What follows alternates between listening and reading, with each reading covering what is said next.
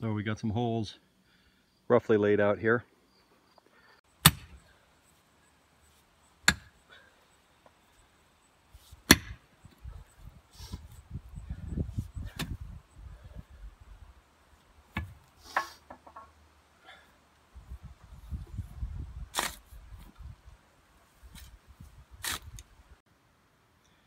Nothing like a nice hand dug hole. Clean sides, subsoil not disturbed, a little bit wider at the bottom than the top. Thing of beauty.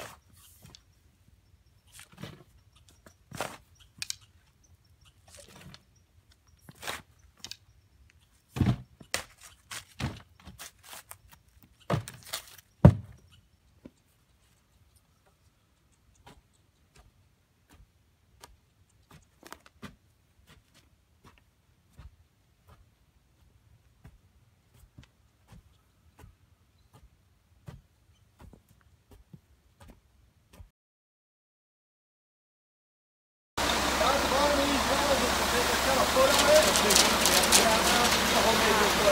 you.